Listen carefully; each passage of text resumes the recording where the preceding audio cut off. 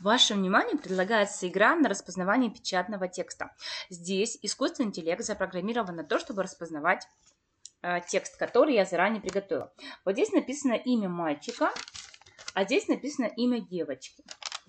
И в зависимости от того, кого я покажу, тому и перейдет сердечко. Нажимаем на флажочек.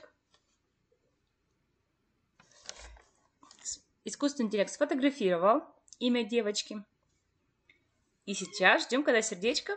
Отлично, оно дошло до девочки. Теперь еще раз запускаем флажок. Меняем имя на мальчика. Ждем пару секунд. Может, чуть больше. Отлично. Вот так вот. Можно также играть по аналогии э, подарки, рассылка подарков, сортировка ну и так далее.